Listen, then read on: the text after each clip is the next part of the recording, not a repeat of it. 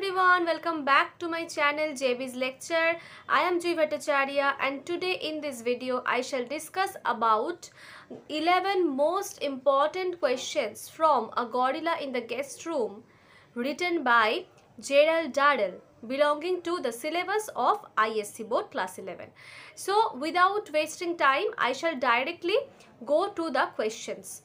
So today I shall not discuss uh, about all the 11 most important questions but today I shall discuss about 6 out of them and then in my next video I shall definitely come with the rest of the questions. So let us start with question number 1.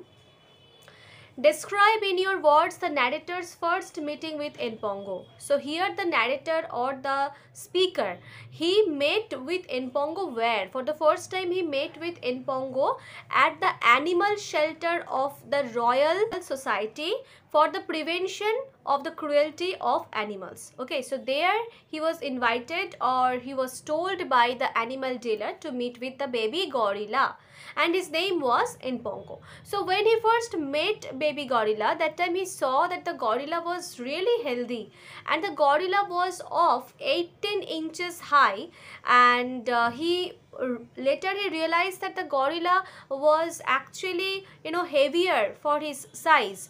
How? When the baby gorilla that means in Npongo first saw the narrator he strolled to him and held up his hands to be lifted up. So the narrator take the baby gorilla in his lap and he felt that his uh, you know weight is actually uh, greater for his size and he realized that he was heavier for his size okay?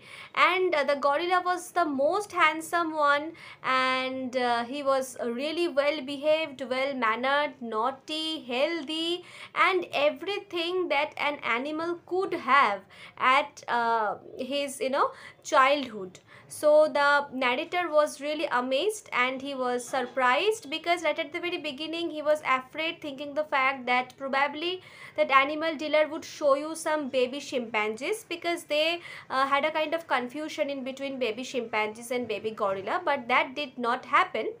And uh, later uh, the narrator gave him one banana and that banana also was eaten happily by that gorilla. So that was the very first meeting um, of the narrator with the baby gorilla.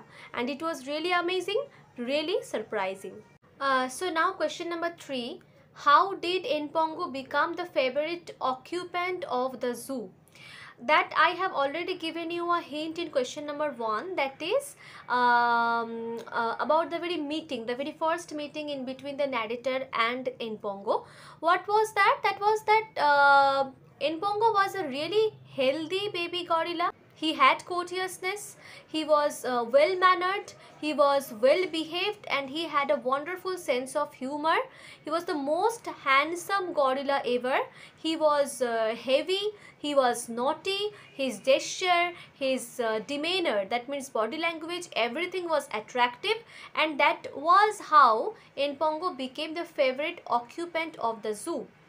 Now come to question number 4 Describe the family's reaction to the gorilla. Right at the very beginning, when Npongo's cage was not ready, for two days, Npongo was assigned to the guest room of the uh, writer or of the speaker. Okay, that is Mr. Durrell's guest room. So Mr. Durrell's wife and mother at the very beginning were very afraid of the uh, appearance of the gorilla and how would uh, it behave with them they were completely afraid of that they were really like what would happen they were um, in great confusion but with time when the gorilla was kept over there with time through his uh, demeanor through his um, you know great sense of humor through his well uh, mannered gesture everyone became uh, you can say fan of that baby gorilla or of that Npongo.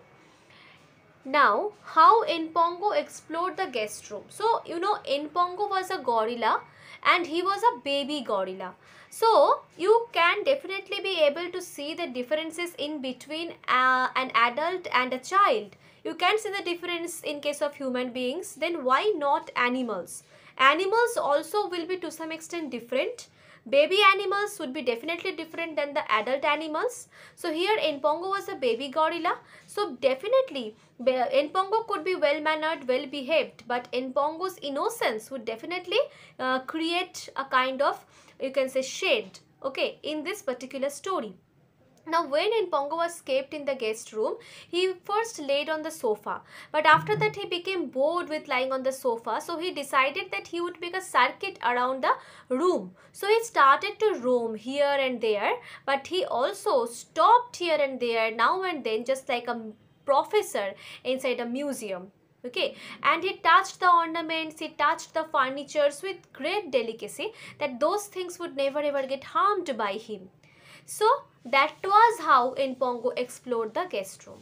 And now in today's video, I will discuss uh, the last question that is question number 6 that is why did the author keep a watch on Npongo in the guest room?